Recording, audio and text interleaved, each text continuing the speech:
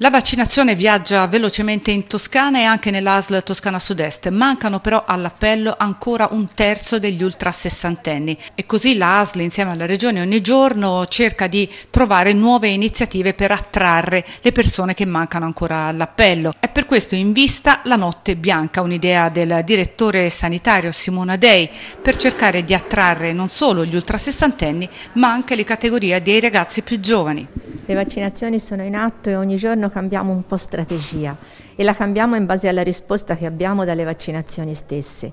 Siamo partiti con le prenotazioni, le prenotazioni a tutte le ore, le prenotazioni molto capillari. Nella sud-est c'è sempre stata una grande capillarità di sedi fin dal primo giorno. Abbiamo fatto un grande lavoro con i medici di famiglia che hanno portato a una copertura degli ultra ottantenni maggiore e più rapida rispetto anche a altre zone della Toscana e adesso dobbiamo trovare delle situazioni che vanno incontro alle fasce di età diverse.